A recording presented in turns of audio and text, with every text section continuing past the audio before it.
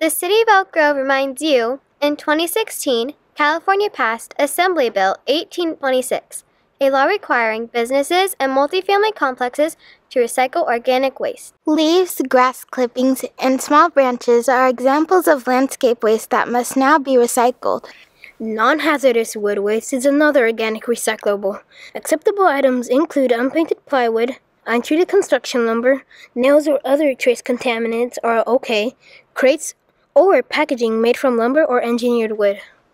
AB 1826 now requires businesses to recycle food materials and food soiled paper resulting from the processing, storage, preparation, handling, or consumption of food. Recycling organics is important.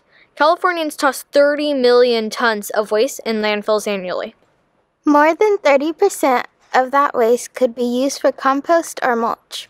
Recycling organics diverts waste from landfills, reduces greenhouse gas emissions, and converts organic waste into mulch or renewable energy. Got questions or need further information or help? Contact the City of Elk Grove's Integrated Waste Department at 916 627 3452 or on the web at elkgrovecity.org/recycle.